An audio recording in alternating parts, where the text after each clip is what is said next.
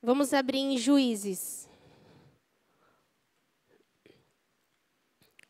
Livro de Juízes, capítulo 6.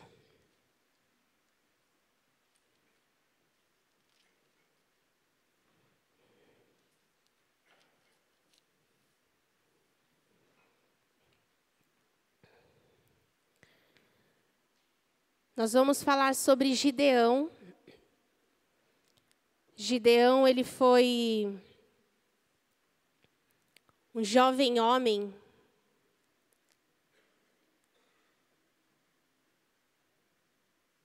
que foi muito corajoso. Na época de juízes não havia um rei. E Gideão foi o quinto juiz a conduzir o povo de Israel. Ele recebeu essa missão de Deus, da parte de Deus. E a gente vai conhecer um pouco mais sobre a postura de Gideão. E o que tem a ver para os dias de hoje.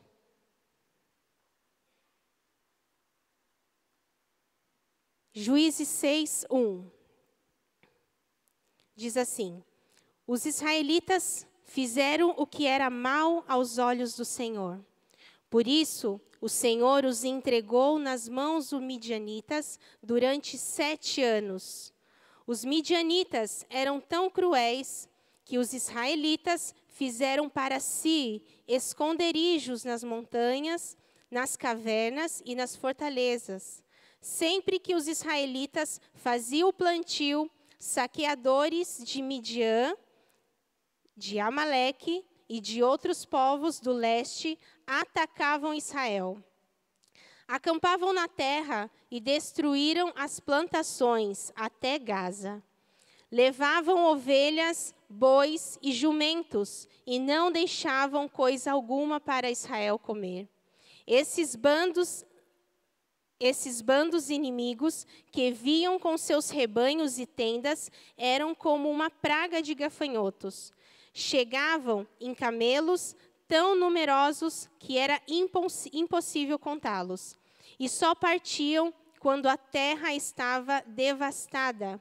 Os medianitas reduziram Israel à mais absoluta pobreza, e o povo pediu socorro ao Senhor.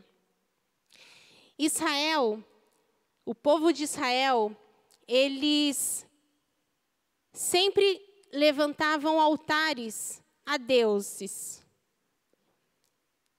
E nesse tempo, aqui de Gideão, o povo de Israel exaltava o Deus de Baal. Era como era de costume deles adorarem ao Deus de Baal. Só que, sempre quando era levantado um líder para conduzir aquele povo, Deus dava as direções, porém eles faziam o que era mal aos olhos do Senhor. E eles sofriam muita opressão. Eles eram perseguidos. E aqui nesse momento, eu acredito que o cerco estava se apertando a dificuldade estava tão grande que, como fala aqui, e o povo pediu socorro ao Senhor. No 7, quando os israelitas clamaram ao Senhor por causa de Midian, o Senhor lhes enviou um profeta que disse assim: que disse: Assim diz o Senhor, Deus de Israel: Eu os tirei da escravidão do Egito e os livrei dos egípcios e de todos os que oprimiam. Expulsei seus inimigos e dei a vocês a terra deles. Disse a vocês: Eu sou o Senhor, o seu Deus. Não adorem os deuses dos amorreus, em cujas terras agora vivem, mas vocês não me deram ouvidos. Ou seja, o Senhor tinha dado as coordenadas, as instruções, mas o povo não fez aquilo que era reto aos olhos do Senhor. E o Senhor foi o quê? e derramou uma, uma dificuldade. Eles foram perseguidos por esses midianitas. Tudo que eles plantavam, tudo que eles tinham, os medianitas, eles vinham e roubavam. Eles não avançavam por desobediência, por fazer aquilo que era bom aos olhos deles, mas não aos olhos do Senhor.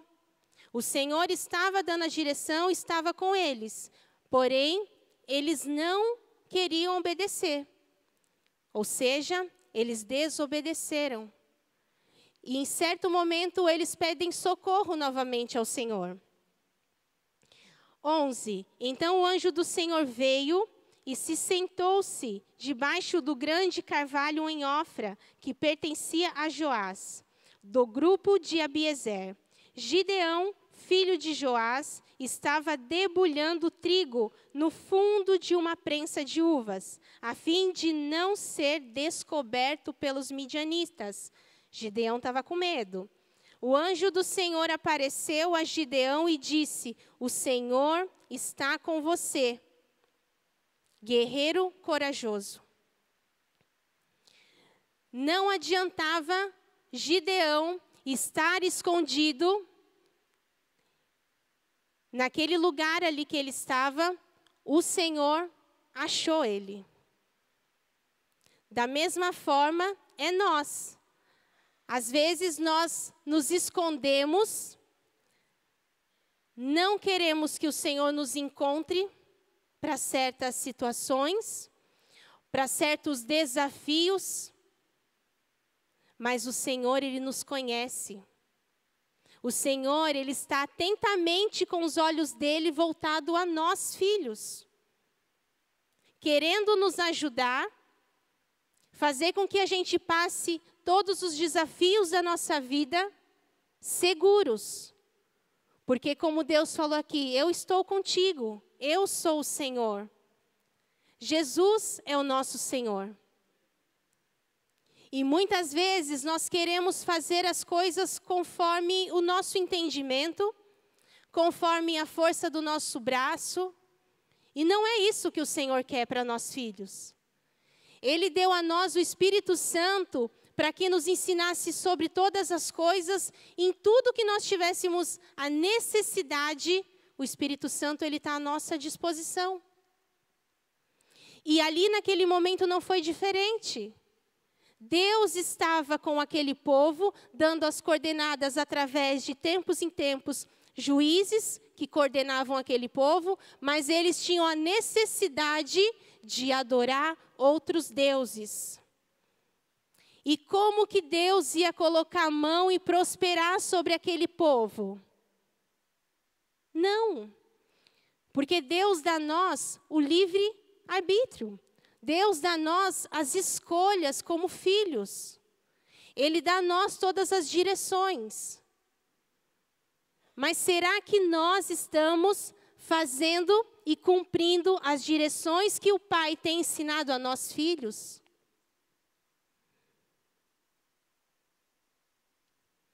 Por tanta coisa que nós vivemos no dia a dia, as fases dos nossos filhos, o nosso casamento, o nosso trabalho, o nosso relacionamento com as pessoas. Mas o Espírito Santo, ele está em nós. Querendo e à disposição a todos que a Ele procura que a Ele pede ajuda, pede socorro. Mas no momento que está muito bem na nossa vida, nós andamos saltitantes. E talvez a gente não lembre do Senhor, porque tudo vai bem. E no momento em que a dificuldade vem, as coisas começam a se apertar, as contas começam a vencer, acontece alguma coisa no, com os seus filhos, mexe com a estrutura da nossa casa, da nossa vida, a gente faz como o povo de Israel. E o povo pediu socorro ao Senhor. Irmãos, Gideão foi colocado diante de uma missão muito grande.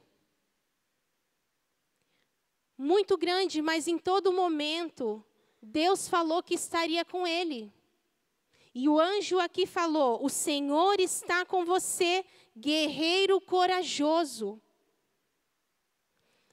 O anjo faz uma afirmação. O anjo aparece a Gideão fazendo essa afirmação. E hoje o Espírito Santo, em nossas vidas, através da liberdade que nós temos com a palavra do Senhor, testifica as coisas do Senhor para nós filhos. O Espírito Santo, o Senhor nos fala que nós somos guerreiros corajosos e que Ele está conosco. Ele fala que nós, filhos, eu e você, somos guerreiros corajosos em tempos com muitas dificuldades. Porque a cada dia mais vai ficando mais difícil mesmo. O Senhor nos alertou. Mas Ele também falou que Ele estaria conosco em todos os momentos. E não nos deixaria só. Amém? 13. Gideão respondeu: Meu senhor, se o Senhor está conosco, por que nos aconteceu tudo isso? Gideão começa a, se, a, a ter um diálogo com Deus. E onde estão os milagres de que nossos antepassados nos falaram? Acaso não disseram: O Senhor nos tirou do Egito? Agora, porém, o Senhor nos abandonou e nos entregou nas mãos dos midianitas. Então o Senhor se voltou para ele e disse: Vá com a força que você tem e liberte Israel dos midianitas. Sou eu quem os envia. Mas o Senhor, como posso libertar Israel? perguntou Gideão. Meu grupo é o mais fraco de toda a tribo de Manassés, e eu sou o menos importante da minha família. Gideão começa aqui a razoar com Deus, a conversar com Deus, falando: como que eu posso? O Senhor nos abandonou no passado. E ele começa a abrir o coração a ter um diálogo com Deus diante de uma missão que Deus estava dando para ele. Ele não tinha que ir até o vizinho, ele não tinha que ir até a Santa Casa e fazer ali um, um momento de, de evangelismo, de ministrar o amor do Senhor, ministrar ali uma, uma oração. Não, o Senhor chamou Gideão para enfrentar uma guerra. O Senhor, ele colocou uma missão no coração desse jovem homem para enfrentar uma guerra. Imagina, irmãos, naquele tempo como era. As estruturas, as ferramentas, não tinha. Eram poucas coisas. E nesse momento que ele começa a falar com Deus, ele abriu o coração dele com medo. Como que eu vou fazer, né? Como eu, por onde eu começo? Como será? Mas o Senhor ele fala: "Eu vou com você. Eu estou com você." E nos dias de hoje das nossas vidas, o que, que nós temos que enfrentar no dia de amanhã? Qual é a guerra que está tentando se travar na nossa vida? Quais são as dificuldades que está chegando perto de você? E qual é a posição, qual é a postura que você está tomando diante disso? Nós estamos aqui sendo alimentados pela palavra de Deus há muito tempo, não é verdade? Você vem a esse lugar, recebe alimento, você tem o seu tempo de intimidade com Deus na sua casa, no seu devocional diário, o Espírito Santo fala e te ensina. Você tem colocado em prática aquilo que o Senhor tem mostrado para você? Ou você tem fugido dos problemas? Você tenta esconder os problemas da sua vida como eles, eles não existissem.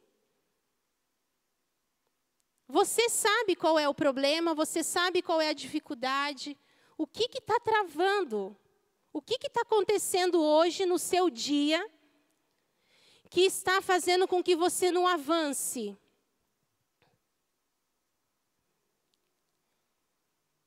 Talvez muitos de nós a gente deixa para fazer depois. Ah, amanhã eu faço. Amanhã eu resolvo. Amanhã, quando eu encontrar aquele irmão, eu peço perdão. Amanhã, eu estou no ministério e eu me ofereço para uma ajuda, para limpar, para organizar. A igreja é grande, precisa de trabalhadores. Mas você sabe no seu íntimo o que você está vivendo que está te travando. Só que também o Espírito Santo que habita na sua vida está te mostrando. E pode ser que você veja esse problema um gigante problema. E você se vê o menos importante de uma tribo pequena. Mas o Senhor te chama de guerreiro valoroso. Ele nos chama de guerreiro valorosos. E ele fala que ele está conosco, que ele não nos deixa só, que ele ampara as nossas angústias, que ele é o nosso Deus, ele é o nosso Pai, ele é o nosso consolador. Ele é o socorro bem presente na hora da nossa angústia. Ele fala tudo para nós. Só que cabe a nós ouvir e obedecer os comandos do Senhor. Amém?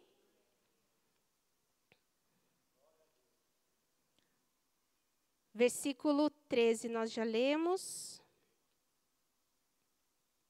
16. Certamente estarei com você, disse o Senhor, e você destruirá os midianitas como estivesse lutando contra só um homem. Aqui o Senhor fala para ele: encoraja Gideão, estarei com você, e você destruirá os gigantes, os midianitas, como se estivesse lutando contra só um homem. Os medianitas eram muitos, eram numerosos. E Deus encoraja Gideão. E hoje o Senhor nos encoraja. Hoje o Espírito Santo nos encoraja a tomar as atitudes e avançar. O Espírito Santo nos mostra o que nós temos que corrigir, fazer e avançar. O Espírito Santo nos mostra que nós temos que abrir os nossos olhos espirituais, abrir os nossos ouvidos, trazer para nós a responsabilidade que cabe a nós e avançar. E fazer.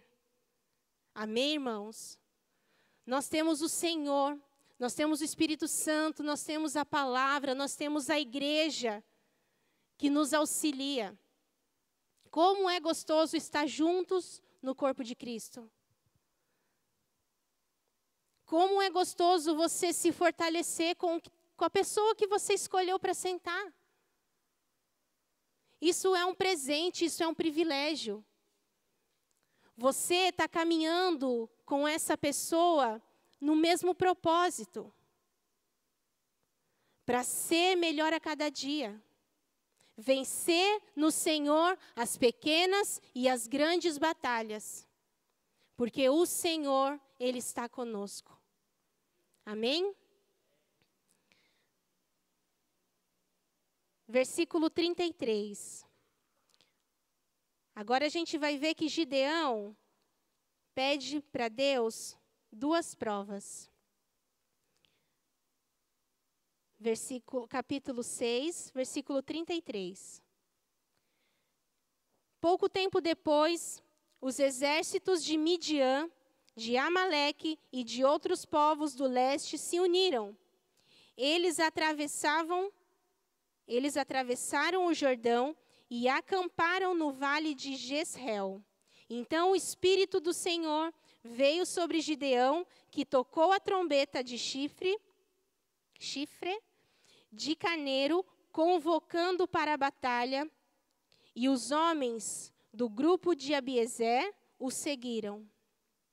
Também enviou mensageiros às tribos de Manassés, Asser, Zebulon e Naphtali, convocando seus guerreiros, e todos atentaram ao chamado. Gideão pedindo ajuda. Então Gideão disse a Deus: Se de fato vais me usar para salvar Israel, como prometeste, dai-me uma prova da seguinte forma: Hoje à noite deixarei um pouco de lã na eira, onde peneiram os grãos. Se pela manhã a lã estiver molhada de orvalho, mas o chão estiver seco, saberei que vás me ajudar a salvar Israel, como prometeste. Olha a prova de Gideão a Deus. E foi exatamente o que aconteceu no 38. Na manhã seguinte, bem cedo, Gideão se levantou, espremeu a lã e recolheu uma tigela cheia de água. Então Gideão disse a Deus: Peço que não fiques irado comigo, mas que permitas fazer mais um pedido. Deixa-me usar essa lã para mais uma prova. Desta vez que a lã fique seca e o chão ao redor dela fique coberto de orvalho.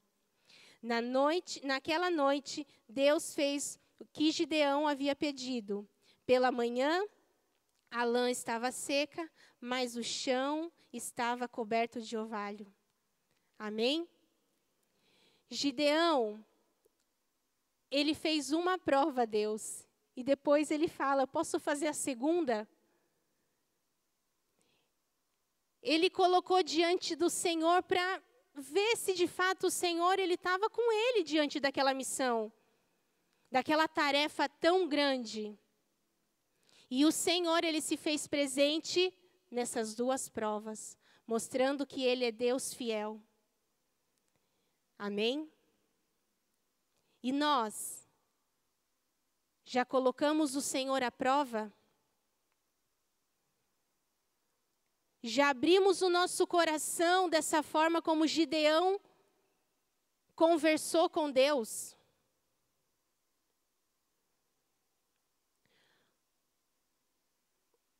Ou talvez nós buscamos as melhores palavras, de uma melhor jeito, de uma melhor maneira, para chegar até a presença do Senhor. O Senhor, Ele conhece o mais íntimo do nosso coração. O Senhor, Ele conhece cada detalhe da nossa vida. O Senhor, Ele conhece o nosso levantar, o nosso deitar. Ele nos conhece porque foi Ele que nos fez. Nós somos imagens e semelhanças do Pai. Como nós temos se achegado à presença de Deus?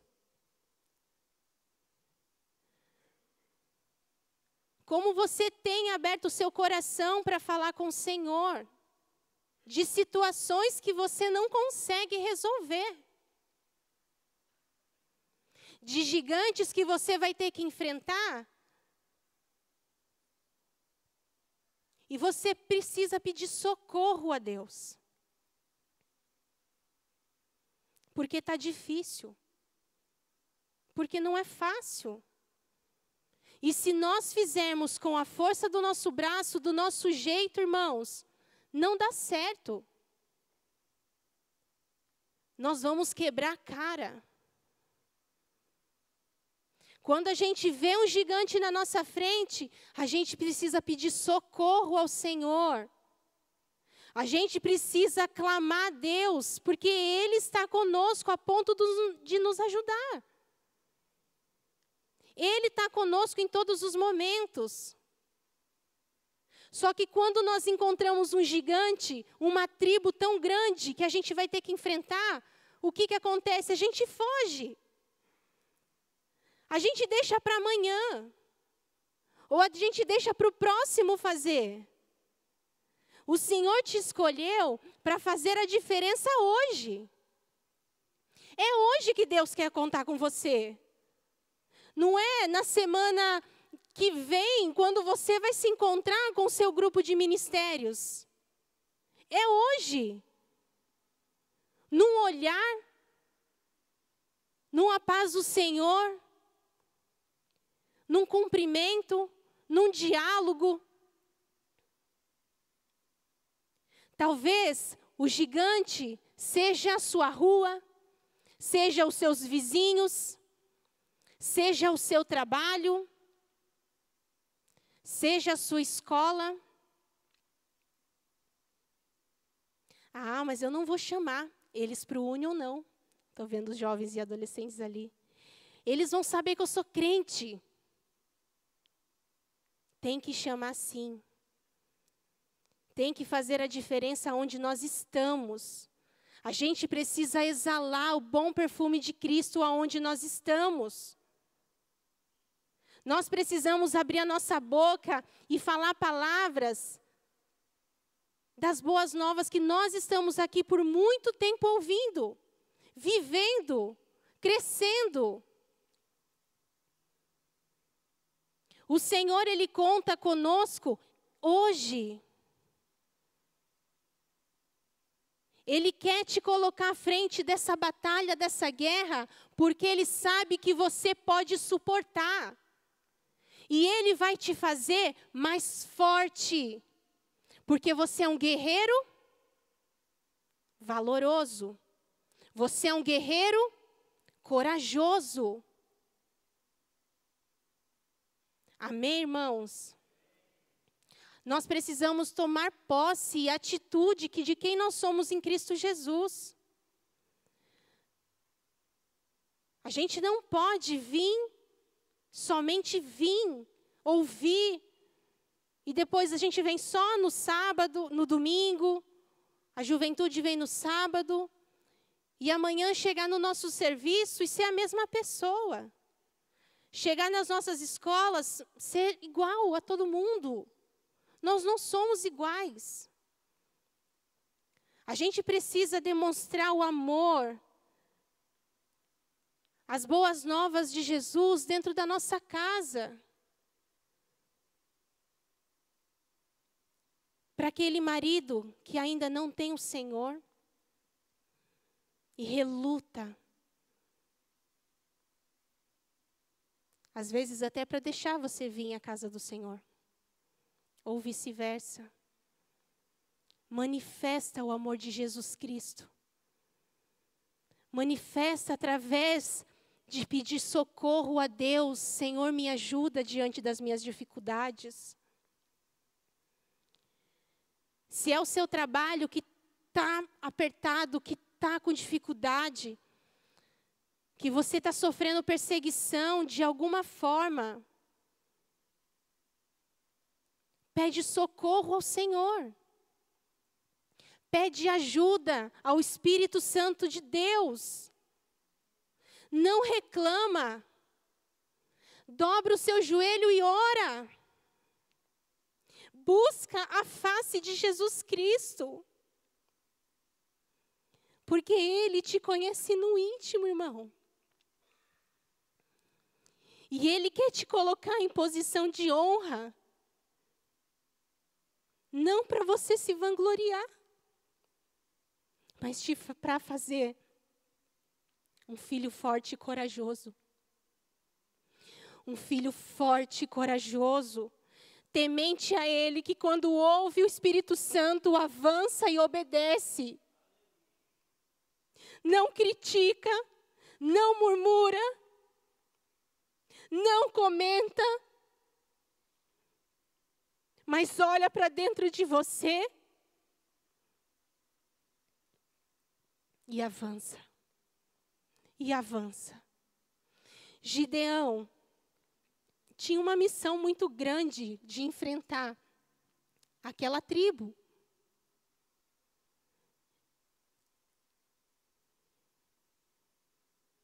E você sabe qual é a missão, você sabe qual é a tarefa que você tem para o dia de hoje. É se colocar mais em disposição e disponível para a obra do Senhor? É se fazer presente nas convocações, quando o seu líder chama, pedindo ideia, pedindo ajuda. Você é o primeiro a ser solícito, a estar junto, a ser parceiro. Vamos fazer juntos, vamos fazer acontecer na sua casa, quando seus filhos adolescentes estão naquela fase. Você grita? Você quer sair correndo? Ou você é aquele pai, aquela mãe que entende que é uma fase? E essa fase que ele está vivendo é uma fase delicada e que precisa da sua instrução. A missão que Deus deu a nós pais de educarmos os nossos filhos é muito grande. É desafiadora. O Senhor entregou para nós essa missão. Irmãos, tem adolescentes ali conosco na rede que os pais não conhecem Jesus. E é uma alegria tão grande quando eles estão ali juntos, E quando a gente vê que eles não vêm, por que você não veio? Ah, porque meu pai me deixou de castigo da rede. Porque o pai não tem sabedoria de Deus. O pai está agindo conforme o seu próprio entendimento, conforme a sua própria vontade, e priva o filho de viver experiências novas com Deus.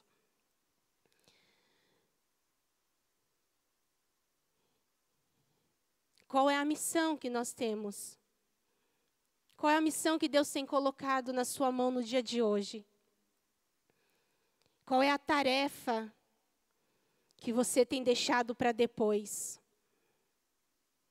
Que você não tem chamado para si? Tentando esconder? Não vendo que o problema é seu não somente do próximo, se corrigindo, pedindo socorro ao Senhor para avançar e crescer e amadurecer.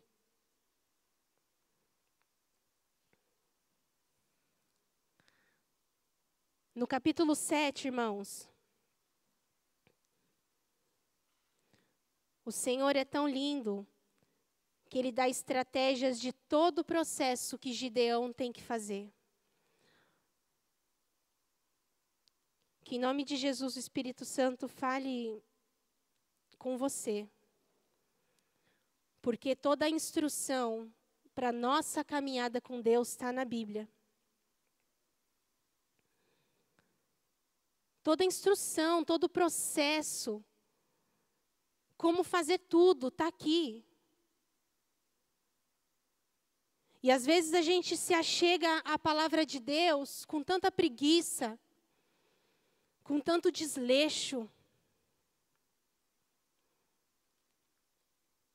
fazendo de qualquer jeito.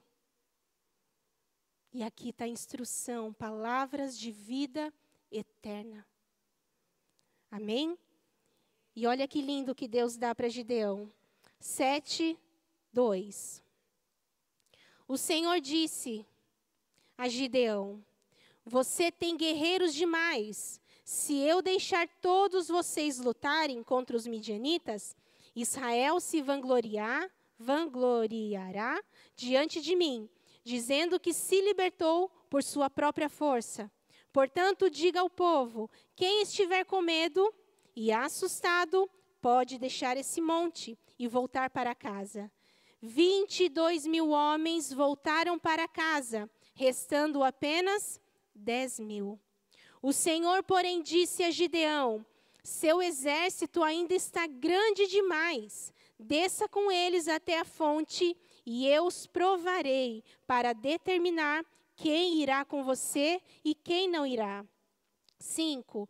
Quando Gideão desceu com os guerreiros até a fonte, o Senhor lhe disse: Separe os homens em dois grupos. Num grupo, coloque todos os que bebem água das mãos, lambendo-as como fazem os cães. No outro grupo, coloquem todos que se ajoelham e põem a boca na água para beber. Apenas trezentos homens beberam a água das mãos. Os demais se ajoelharam e puseram a boca na água. O Senhor disse a Gideão: Com estes trezentos homens eu livrarei Israel e entregarei os midianitas em suas mãos. Mande para casa os demais. Gideão ordenou que recolhesse as provisões e as trombetas de chifre de carneiro dos outros guerreiros, e os mandou para casa, mas manteve consigo os trezentos homens. O Senhor ele deu toda a estratégia para Gideão vencer a batalha. Mas não foram a quantidade. Não foi a quantidade. Sabe o que foi, irmãos, que o Espírito Santo colocou no meu coração? Foi o ouvir e o obedecer. A tarefa, a missão que Deus deu a Gideão ele conversou, se arrazoou com Deus, dialogou, questionou. O Senhor falou para ele que ele era um guerreiro, valoroso, através do anjo. Deus foi forjando, foi fortalecendo, e Gideão não desistiu. Gideão, ele foi guerreiro. Gideão, ele foi um líder que fez a diferença. E é dessa forma que Deus ele conta com você. Ele te dá todas as instruções. Ele te fala que você é forte e corajoso. Ele deu o Espírito Santo para que habitasse em você e te ensinasse sobre todas as coisas. e você tem a sensibilidade de ouvir e obedecer. Ouvir e obedecer. Os comandos, as instruções, as direções que Jesus Cristo nos dá todos os dias da nossa vida. O Senhor, Ele dá acesso a Ele em todo momento, em qualquer lugar que a gente esteja, irmãos andando de bicicleta, fazendo qualquer coisa. Ele dá acesso à presença dele.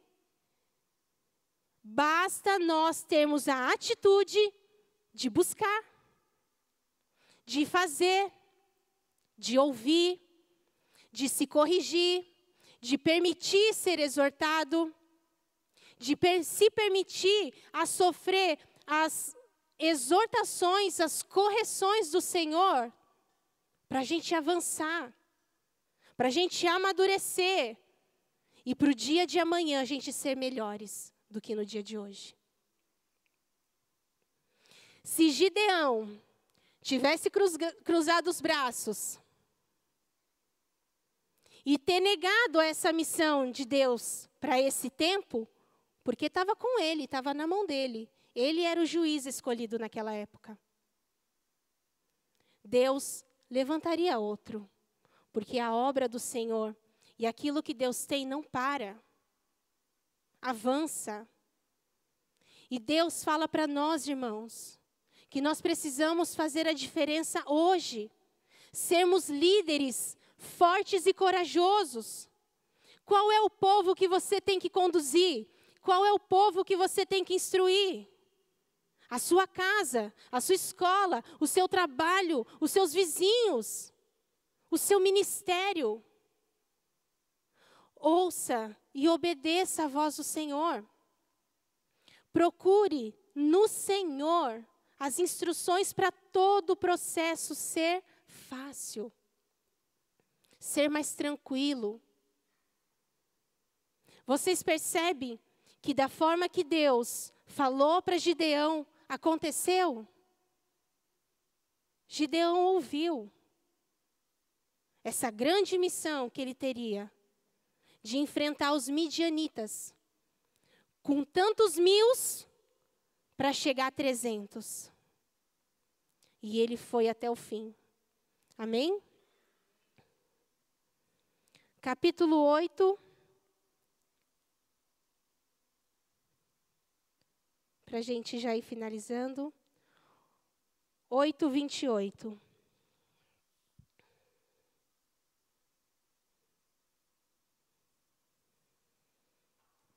Diz assim: Esse é o relato de como os israelitas derrotaram Midian, que nunca se recuperou. Durante 40 anos do restante da vida de Gideão, houve paz na terra. Então Gideão, filho de Joás, voltou para casa. Gerou 70 filhos do sexo masculino, pois teve muitas esposas. Também teve uma concubina em Siquém, que deu à luz a um filho seu, a quem ele chamou Abimeleque. Gideão, filho de Joás, morreu quando era muito idoso e foi sepultado no túmulo de seu pai Joás, em Ofra, no, no território do grupo de Abiezer. Logo depois da morte de Gideão, os israelitas se prostituíram adorando imagens de Baal e fazendo de Baal Berite seu Deus. Os israelitas se esqueceram do Senhor, seu Deus, que os havia livrado de todos os inimigos em redor. Também não demonstraram lealdade alguma para com a família de Gideão, apesar de todo o bem que ele havia feito em Israel.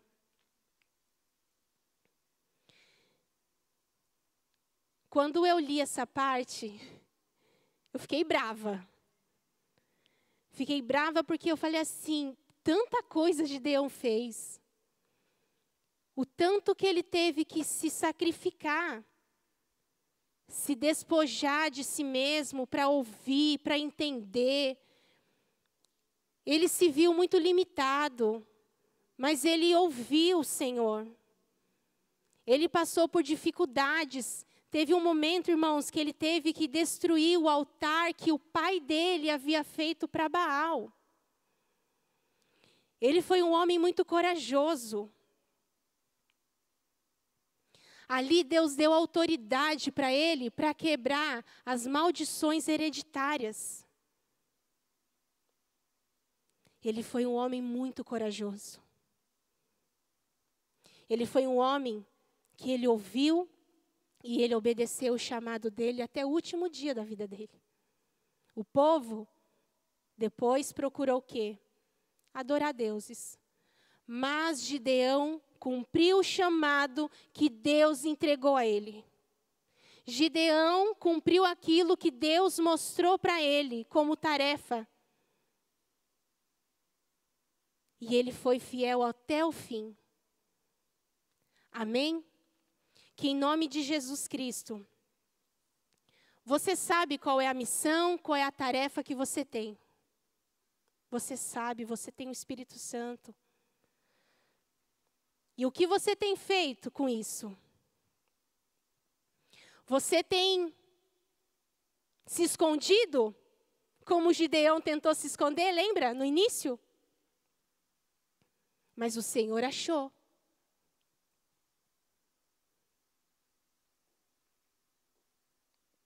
O Senhor achou Gideão. E o Senhor exaltou Gideão. Porque Gideão ouviu e obedeceu. aquela missão que Deus entregou na vida dele. Amém, irmãos? Que em nome de Jesus Cristo, nós possamos entender aquilo que Deus tem entregado na sua mão. E pode ser que você se ache o menor da sua família, como Gideão fez, o menor da sua tribo, mas o Senhor sabe e falou para você e para mim, Ele é conosco. Ele não nos deixa só. Ele faz de nós filhos fortes e corajosos, para a gente avançar, para a gente avançar e sermos melhores no dia de amanhã. Amém? Eu vou pedir para que o louvor venha.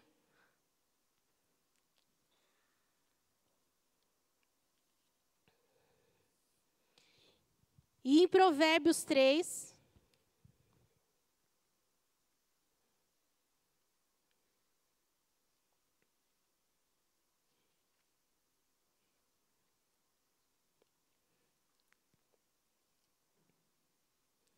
Vamos ler de pé, irmãos, esse último versículo?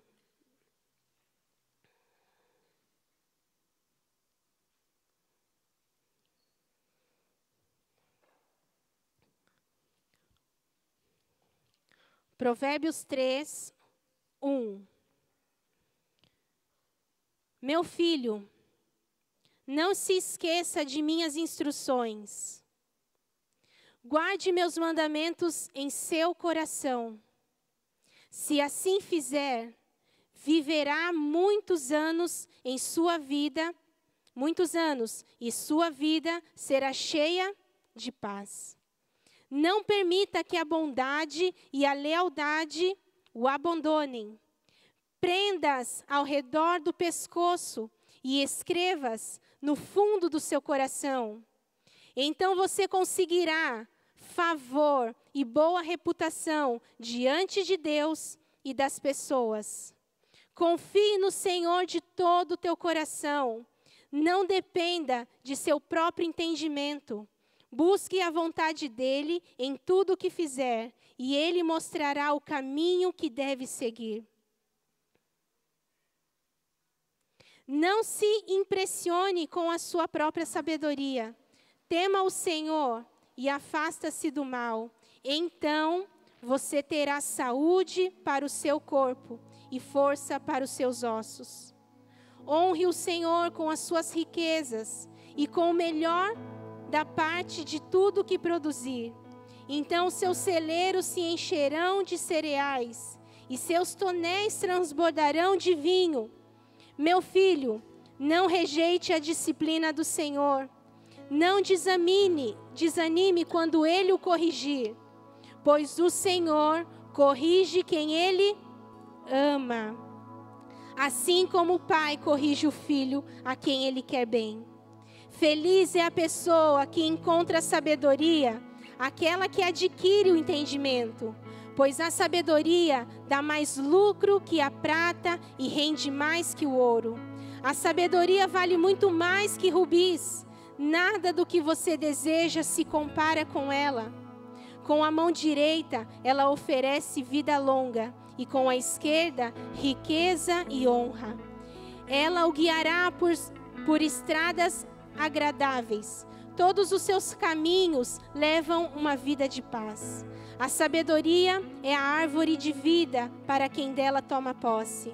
Felizes os que se apegam a ela com firmeza. Por meio da sabedoria, o Senhor fundou a terra, por meio do entendimento estabeleceu os céus, por seus conhecimentos brotam as fontes profundas, e do céu cai o orvalho durante a noite. Meu filho, não perca de vista o bom senso e o discernimento. Apeguem-se a eles, pois darão vigor à sua alma e serão como joias em seu pescoço. Eles o manterão seguro em seu caminho e os seus pés não tropeçarão.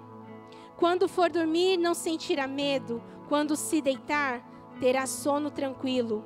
Não precisará temer o desastre repentino nem a destruição que vem sobre os perversos, pois o Senhor será a sua segurança, não permitirá que o seu pé fique preso numa armadilha. Não deixe de fazer o que o bem àqueles que precisarem, sempre que isso estiver ao seu alcance. Se você pode ajudar o seu próximo agora, não lhes diga: volte amanhã, eu lhe darei algo. Não planeje o mal contra o seu próximo, pois quem mora por perto confia em você. Não procure motivos para brigar, nem ninguém lhe fazer mal. Não tenha inveja dos violentos, nem imite sua conduta. Esses perversos são detestáveis para o Senhor, mas os justos ele oferece a sua amizade. O Senhor amaldiçoa a casa dos perversos, mas abençoa o lar dos justos. O Senhor zomba dos zombadores, mas concede graça aos humildes. Os sábios recebem honra como herança, mas os tolos são envergonhados em público. Amém? A instrução para a nossa vida, irmãos, ela está na palavra de Deus. Para os nossos dias serem mais leves, a gente precisa consultar o trono de Deus. Para a gente educar os nossos filhos, a gente precisa pedir socorro ao Senhor. Para a gente ser um bom pai, uma boa mãe, um bom esposo, uma boa esposa, um bom filho, é no Senhor que a gente vai entender e conhecer todas as instruções para todo o processo que a gente precisa viver. Amém?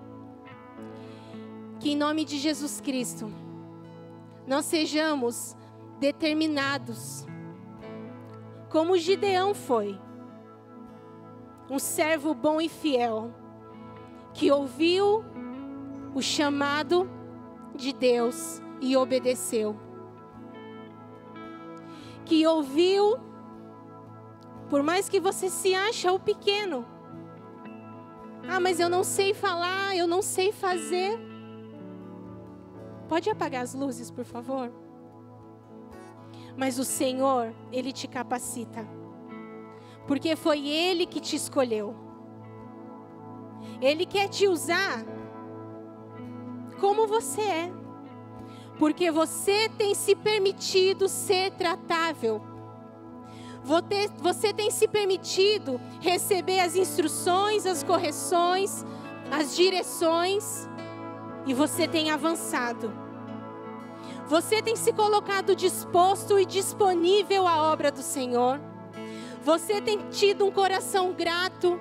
Você tem se colocado à disposição do próximo.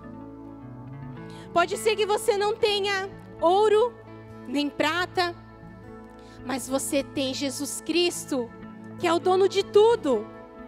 E você pode abrir os seus lábios, porque Ele te capacita, Ele te faz forte. Ele te faz corajoso. Você só precisa ouvir, obedecer e agir. Ouvir, obedecer e fazer. Ter uma ação vinda de você. Porque do Senhor já teve, irmãos. Da parte de Deus para as nossas vidas já foi entregue. Já foi feito. Deus quer te usar. Deus quer mover coisas em você que vai atingir o próximo. Deus quer mover algo no seu coração, te tratar em feridas, que você vai servir de testemunho amanhã. Deus quer, o Espírito Santo quer, mas a gente precisa se colocar à disposição, a gente precisa se colocar, se apresentar no altar do Senhor e falar: Senhor, me ensina, me corrige, como eu faço, por onde eu começo. Uma ação, uma ação vinda da nossa parte para com o Senhor. Que em nome de Jesus, nessa adoração, o Espírito Santo pulse no seu coração, irmãos que o seu coração bate tão forte. Bata de uma forma que ele nunca bateu. Porque você está agindo, você está se movendo, você está se permitindo, você está se colocando à disposição de Deus. Diante da missão que o Senhor está te entregando, te entregou, te entregará. Ele te faz filho forte e corajoso. Ele está conosco todos os dias. Seja forte e corajoso. Seja forte e corajoso. E permita ouvir a voz do Espírito Santo de Deus. Em nome de Jesus. Aleluia.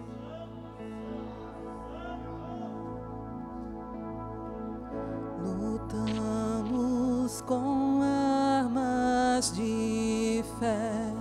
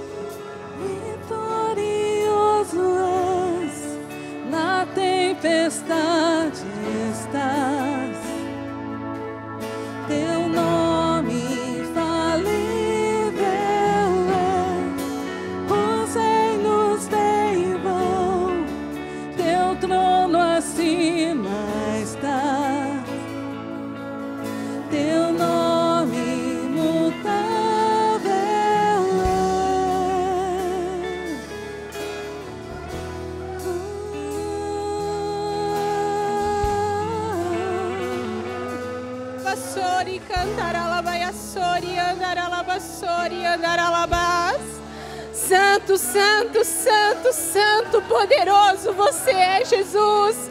Grandioso você é, Senhor. Nós dependemos do Senhor. O Senhor nos capacita, o Senhor nos escolhe, o Senhor fala para nós irmos na tua força. O Senhor fala para nós irmos na tua força. O Senhor fala para nós irmos na tua força, Pai. Nós tomamos posse, Jesus, da sua força sobre nossas vidas, da sua autoridade sobre nossas vidas das suas boas ações sobre as nossas vidas, do seu comportamento, do seu pensamento sobre as nossas vidas.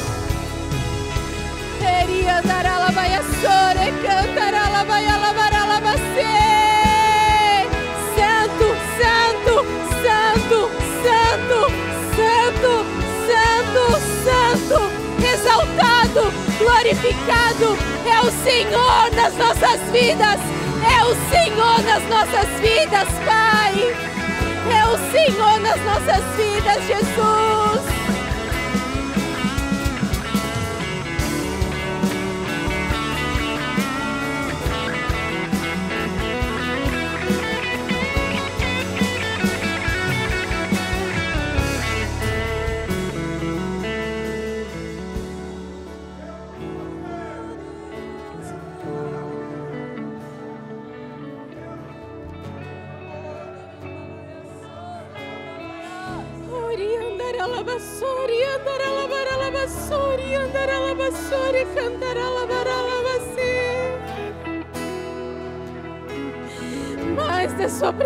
Jesus.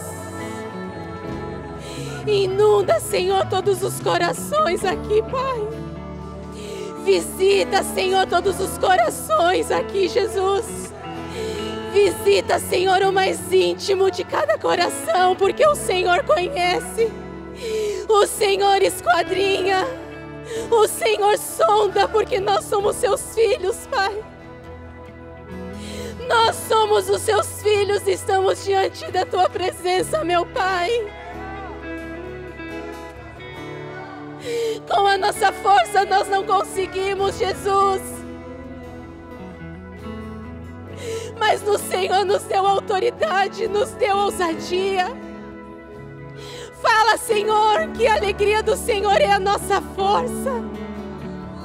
E é nessa força que nós prosseguiremos, que nós viveremos, Jesus, todos os dias da nossa vida, sabendo que o Senhor luta as nossas guerras, sabendo que o Senhor vai à frente de todas as batalhas de todas as pequenas e das grandes tarefas, Jesus. É o Senhor, é o Senhor, Jeová Rafa, Jeová Jiré, Jeová Nissi é o Senhor. O Senhor é o Jeová Shalom. O Senhor é a nossa paz. E nós te agradecemos, Jesus pelo privilégio de termos o Espírito Santo em nós e nos ensinarmos sobre todas as coisas, Senhor. Jesus, essa palavra semeada nos nossos corações, Pai. Que venha dar, Senhor, muitos frutos, Jesus. Porque o Senhor não nos deu espírito de medo o Senhor nos deu o Espírito Santo de Deus, o teu Espírito Santo de Deus. E nós não vamos nos acovardar diante das situações, Pai. Porque o Senhor, Jeová, vai nas nossas frentes, Pai. O Senhor vai na nossa frente, abrindo caminhos para que a gente passe como filho, Senhor como filhos, como herdeiros, Jesus. Em nome de Jesus Cristo, Senhor, nós te agradecemos, Nós te louvamos, nós te bendizemos. Grandioso és tu na nossa vida, meu Pai. Obrigada, Senhor, em nome de Jesus. Obrigada pela paz que excede todo entendimento. Obrigada pelos anjos que aqui estão ministrando ao nosso favor. Obrigada pela liberdade que nós temos na casa do nosso Pai. Obrigada por darmos liberdade ao Espírito Santo de Deus. Obrigada por darmos liberdade ao Espírito Santo de Deus, Jesus.